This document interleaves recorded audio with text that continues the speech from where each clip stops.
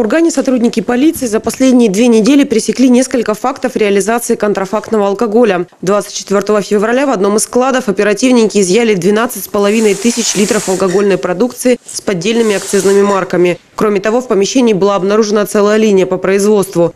Еще один факт изъятия произошел 26 февраля. В торговых и складских помещениях обнаружено почти 2000 литров спирта, 36,5 литров водки и 2,5 литра коньяка без разрешительных документов. По данным фактам проводится проверка, а затем будет решаться вопрос о возбуждении уголовных дел.